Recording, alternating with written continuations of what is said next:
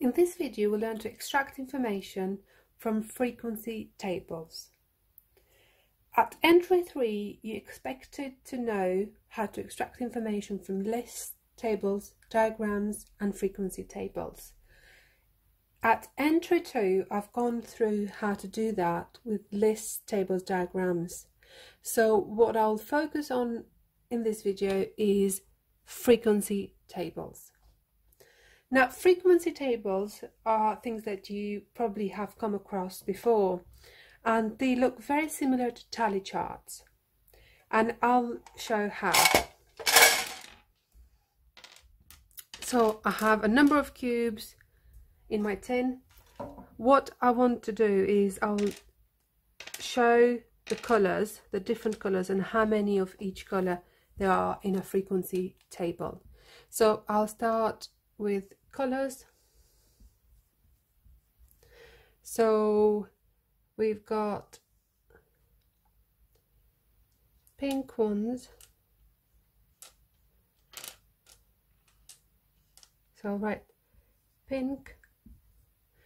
We've got brown.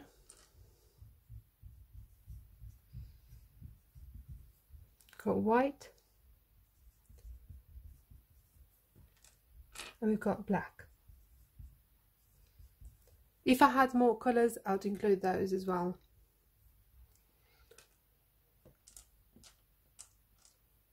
So if you're talking about maybe types of fruit or vegetable or types of food, you'd include each specific type in there. And having a heading is needed as well is really useful. So we know we're talking about colours. All of these are colours. If it's food, then you put food. If it's all fruit, you write fruit at the top.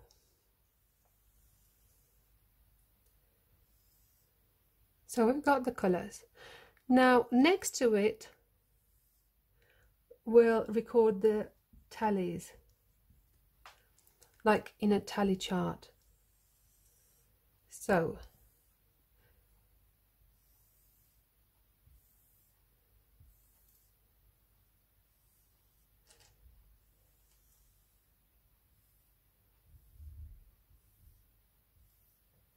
obviously you'd use a ruler in your notebook but I'm just showing you quickly. So white there is just one. And I'll put a mark there. And this is the frequency.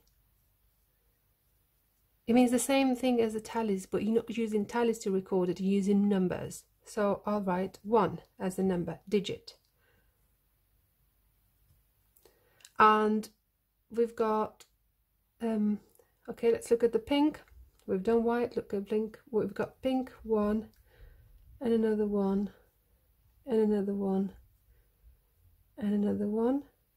Fifth one we go across.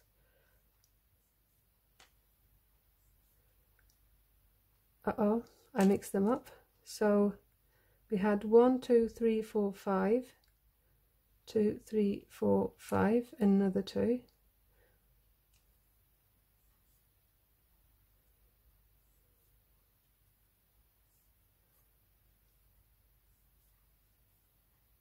So 5 and 5, 10, and the 2, 12 all together.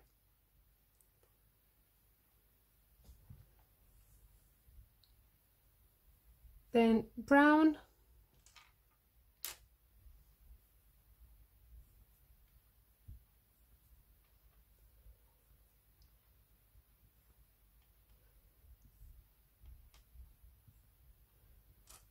and black. So brown was 5 and 1, 6. Black is 1 and another 1, another one fourth 5th, 6th, 7th, 8th.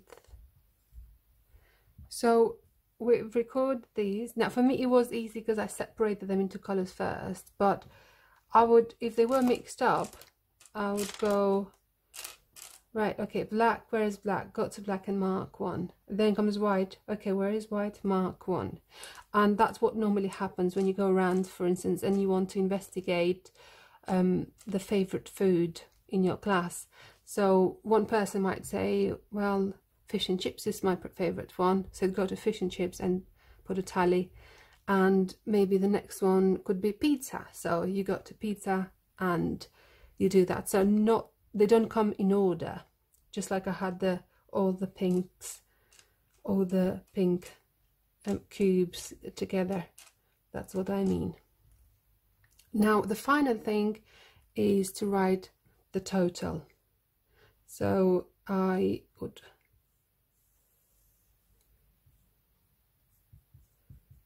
total. So we've got let's pair them up because 12 and 8 we've learned before it makes 20 so it's number ones to 20 so we've got 20 26 27 easy to count and add. So 27 in total. This is how you actually draw an frequency table. This is how you draw a frequency table so we'll now extract some information from the frequency table these are just some examples of the questions that you could be asked. How many brown cubes are there? So we're looking at brown. Where is brown? There are six of them. Double checking. How many more black than white cubes are there? So we're comparing black with white. And there we have, there is one white and eight black. How many more are black? And that is seven because eight take away one gives you seven. One and seven gives you eight. Or you could just go comparing them. There we have white and that's black. So that's the same. Now this is extra that's extra and that's extra and this is extra as well. So counting them one two three four five six seven. And that confirms what we've just done. How many fewer than pink are brown? So we're looking at pink and brown all together how many fewer how many it's it's about less. So we've got up to this point they are the same then we have this extra that extra that extra. So we've got one two three four five six. And again 12 take away 6 gives me 6 6 at 6 gives me 12 so there are 6 fewer brown than pink